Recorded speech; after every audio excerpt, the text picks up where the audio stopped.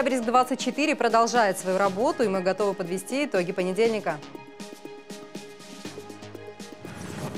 Собаки накормлены, будки строятся. Журналисты телеканала «Ноябрьск-24» вновь побывали в службе отлова.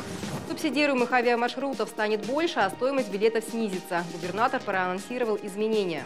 Открытие этнографического комплекса и дегустация ароматной каши. В ноябрьске впервые прошел фестиваль грибов и ягод. Собаки накормлены, бетонные полы в клетках засыпаны опилками. Неделю назад телеканал «Ноябрьск-24» рассказывал о проблемах в службе отлова. И вот спустя неделю наша съемочная группа вместе с волонтерами вновь побывала на промзоне. В каких условиях сейчас находятся животные, расскажет Евгения Демина.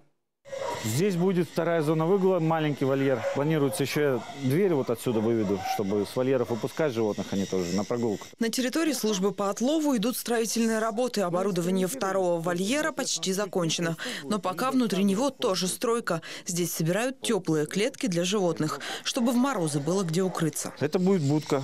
То есть она будет ставиться в вольер, будет закрываться стена, Будем, да, делать второй этаж? Решен вопрос и с холодным бетонным покрытием в клетках. Его засыпали опилом. Уборка тоже происходит регулярно, уверяет предприниматель Иван Латышкин. Хоть и обходится это весьма недешево. 10 мешков на два дня. 10 мешков на два дня. Да. Один мешок сколько стоит? 60 рублей. 60 рублей мешок. А запасы будете как делать?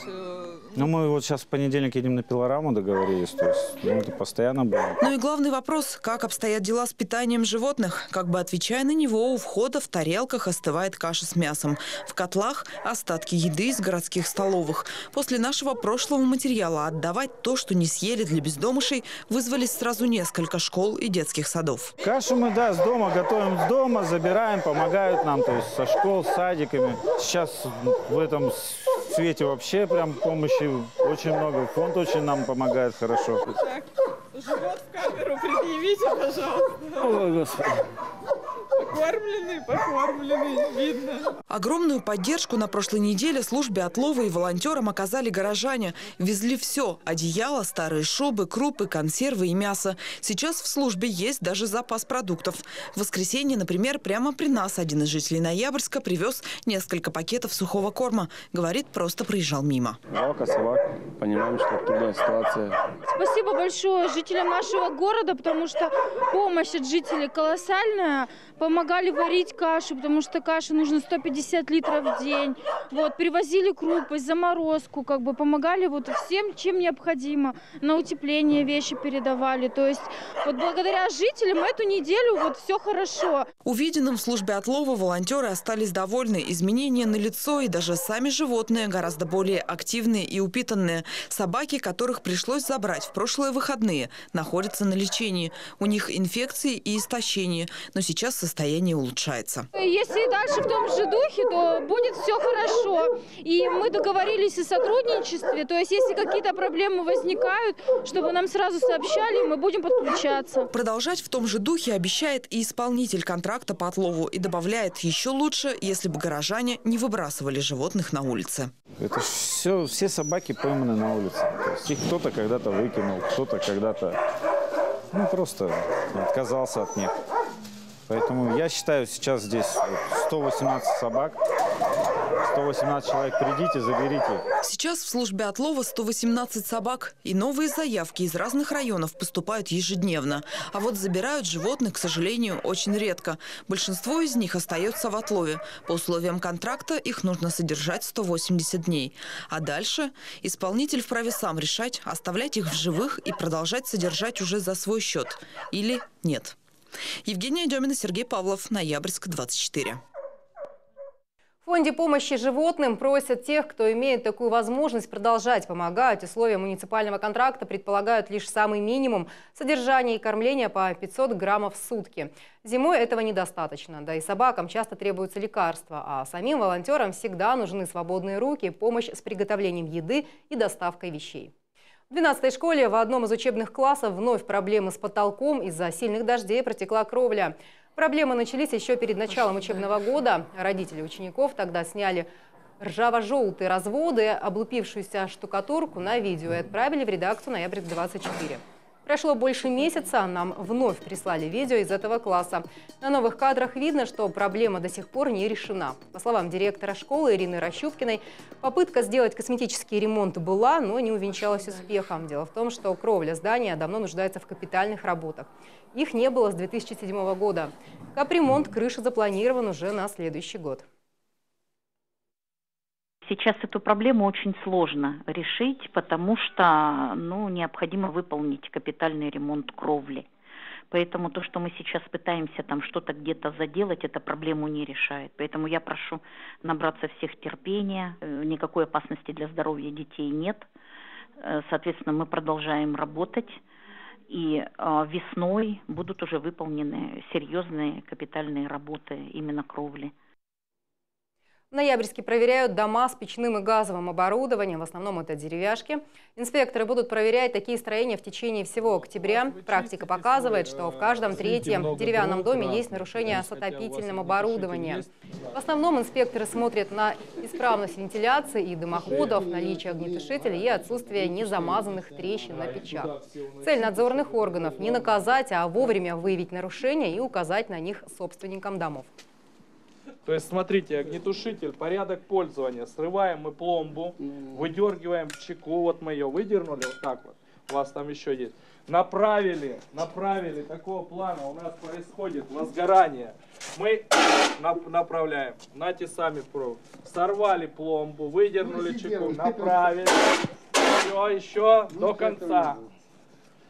Все, порядок пользования вам известен. Все понятно. Собственник своего строения при указании на нарушение, он заинтересованный их устранить и процентном 90% он устраняет. То есть многим нужен просто такого плана напомнить о том, что имеется нарушение и их необходимо устранить. Губернатор пообещал оставить без работы дорожников, которые кладут асфальт на снег. Об этом он заявил в ходе прямого эфира в Инстаграм. Дмитрию Артихову поступило обращение от жителя Ноябрьска, который пожаловался на качество дорожного полотна в городе. По его словам, причина – нарушение технологий при укладке асфальта. Его кладут на снег. Глава региона подчеркнул, что сотрудники и компании, которые будут замечены в подобных нарушениях, больше работать не будут. Губернатор попросил не замалчивать такие факты, а сообщать о каждом аналогичном случае – Прямая трансляция с Дмитрием Артюховым прошла в субботу, 5 октября, в аккаунте главы региона в Инстаграм. До начала трансляции было прислано больше двух тысяч вопросов и комментариев. Общение с населением длилось чуть больше часа. В следующем году на Ямале появится больше субсидируемых авиамаршрутов, а стоимость билетов снизится. Правда, коснется снижения цены не всех, а только основных направлений. Об этом также шла речь во время онлайн-трансляции. Губернатор при этом не уточнил, о каких конкретно направлениях идет речь. Окончательный вопрос должен решиться в октябре-ноябре. Дмитрий Артихов также заверил, что программа льготных перелетов для многодетных семей станет постоянной. И на Ямале дети из многодетных семей раз в год смогут пользоваться льготными перелетами туда и обратно по целому ряду направлений. Стоимость билета фиксирована в одну сторону 2500 рублей. Для покупки билетов никаких справок собирать не нужно и обращаться никуда не приходится. Внести данные и оплатить перелет можно на сайте авиакомпании «Ямал». Больше десяти компаний-подрядчиков «Газпромнефть» «Нефтегаза» собрались на Етыпуровском месторождении. Встреча прошла в рамках обмена лучшими практиками среди подрядных организаций. Ее задача – внедрение единых требований к безопасности всеми участниками производственного процесса. Ранее аналитики «Газпромнефти» собрали данные об инцидентах за 10 лет. Итог – готовый ряд правил, которые помогут избежать непредвиденных ситуаций при выполнении работ. Система постоянно совершенствуется, и теперь она доступна не только сотрудникам Ноябрьскнефтегаза, но и всем компаниям-партнерам. Также организаторы провели экскурсию на цифровую буровую установку. Сегодня она является одной из самых высокотехнологичных в Западной Сибири. Проект «Каркас безопасности» направлен на то, чтобы напомнить человеку, что те написанные уже чьей-то кровью требования норм и правил, они обязательны для исполнения. В первую очередь для того, чтобы человек, придя на работу, отработав, живым и здоровым, вернулся домой в свою семью.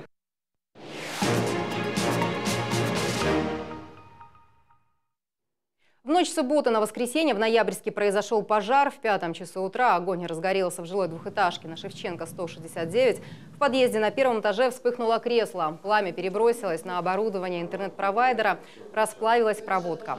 Дальше огонь распространиться не успел. Помог счастливый случай. В этот момент мимо дома проходил молодой человек. Увидел, что из окна идет дым и не растерялся. Стал будить людей и вызвал пожарных прибытию огнеборцев, а они приехали через 4 минуты, пламя жильцы уже потушили. Имя героя пока неизвестно. В суматохе люди не спросили, как его зовут. Мы проснулись от того, что э, кричал молодой человек, просыпайтесь, горит дом, вы все сгорите, выходите. Вот э, я выглянула в окно, увидела дым, выбежала сначала с телефоном, думала, может быть, пожарных нужно вызвать. Он сказал, пожарные выз... уже вызвали пожарных, выходите. Я зашла домой, разбудила детей, взяла документы, и мы в экстренном порядке вышли из дома. Что-то знаете про этого парня, нет? Нет, к сожалению, нет. Спасибо ему за бдительность. Причину пожара, а также виновное лицо сейчас устанавливают дознаватели. О других чрезвычайных происшествиях и преступлениях, совершенных в городе и регионе, смотрите сразу после выпуска новостей в рубрике «Происшествия». На Ямале начался второй этап конкурса «Народный участковый». В течение сентября ямальцы выбирали лучших из 16 претендентов. В итоге в финал регионального конкурса вышли 11 полицейских. Среди них и старший лейтенант из Ноябрьска Роман Безгодов. Он борется за звание народного уже второй год подряд. Отдать свой голос за него можно на сайте окружного МВД. Там же можно узнать всю информацию о конкурсантах. Голоса принимаются до 16 октября. Победителя онлайн-голосования представит Ямал уже на всероссийском уровне. Открытие этнографического комплекса, мастер-классы, выставка «Ярмарка» и дегустация ароматной каши. В Центре духовно-нравственного воспитания прошел первый городской фестиваль грибов и ягод «Лесфест». На гастрономическом празднике побывала моя коллега Оксана Зайчакова. Ей слово. Жизнь полна фантастических и совершенно невероятных чудес. И иногда сказочные легенды оживают, особенно для тех, кто в них искренне верит. Давным-давно в каменной пещере на берегу Полярного Урала жила девушка из древнего народа. Она была настолько прекрасна, что однажды в нее влюбился великан. Он украл красавицу и вез к себе на озеро Ханто, где она живет до сих пор. Так звучит легенда нового туристического бренда города – ноябрьской снегурочки Сорни. Я, я, я,